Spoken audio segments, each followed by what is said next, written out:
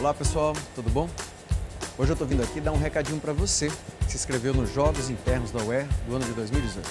E com o intuito de organizar um mega evento aqui na nossa universidade, resolvemos adiar os nossos jogos. Então eles ocorrerão entre 30 de maio e 2 de junho. A boa notícia é que você que já se inscreveu nos jogos não necessita realizar uma nova inscrição. E você que ainda não se inscreveu poderá realizar sua inscrição até o dia 18 de maio. Mais informações na Pró-Reitoria de Extensão e Cultura ou nos telefones 21 21 0941.